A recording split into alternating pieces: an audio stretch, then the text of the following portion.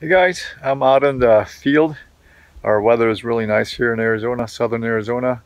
And uh, it wasn't a challenging day today because as you can see, I'm kind of putting the camera up. It's a sort of an overcast day. We call it overcast day in the desert here. And the, and the light gets pretty flat. And the sun was kind of in and out because you can kind of see from the clouds, it's sort of broken up here and there.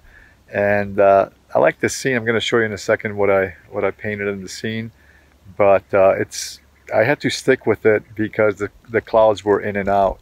So when you when you're dealing with a day um, such as this, where the clouds are in and out, uh, pick pick the light source. Meaning, if you like where it's dark, you know, when it, when it's overcast, I should say, uh, painted as such. And when the sun comes out, if you like that, then paint it such. Don't. It's impossible to go back and forth, basically and uh, it is challenging but I, I urge you to stick with it even though it's a little bit cloudy because um, uh, the results could be pretty good. And the idea is that you know to study uh, when you're outside um, try to get those values colors and uh, design is important too obviously but I tend to uh, work on design uh, more inside indoors um, on it. So yeah just stick with it when it's a when it's an in and out kind of day. That's why I call it when the clouds um, when it's cloudy and a little bit sunny. So I'm gonna flip it around and um, just show you some uh, some images of the scene and where I'm at and